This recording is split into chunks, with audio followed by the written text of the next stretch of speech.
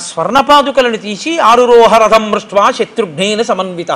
తల మీద చెప్పులు పెట్టుకుని వెళ్ళిపోయి రాజ్యం చేశాడు భరతుడు. ఆ అన్నదమ్ముల ఐకమత్యతటువంటి. నా వల్ల భరతుడికి రాజ్యం వచ్చేసిందని ఎన్నడూ రాముడికి ఖేదం లేదు. సరికదా భరతుడు సైన్యంతో వస్తుంటే అయోధ్య కాండలో లక్ష్మణుడు చెట్టుపైకి ఎక్కి చూసి ఆ కోవిదార వృక్షం భుజంగా కలిగినటువంటి వాటిని చూసి మన సైన్యమే వస్తోంది అన్నయ్య భరతుడు నిన్ను చంపడానికి వస్తున్నాడు. అన్నయ్య సీతమ్మని గుహలోకి పంపించేశాయి మన అస్త్రశస్త్రముల పట్ల కోదండముల పట్ల భరతుడిని చంపేస్తానన్నాడు. ప్రశాంతంగా కూర్చుని ఏమన్నాడో తెలుసా అండి రాముడు? లక్ష్మణ ధర్మము కాని అర్థము కాని కామము కానీ. నేను జీవితంలో అనుభవించి సంతృప్తిగా ఉండడము అంటే నా తమ్ముళ్ళు కూడా వాటిలో సంతోషంగా ఉన్నంత కాలమే నేను ఉంటాను అంతేగాని తమ్ముణ్ణి చంపి నేను సంతోషంగా ఉండడం ఉండదు.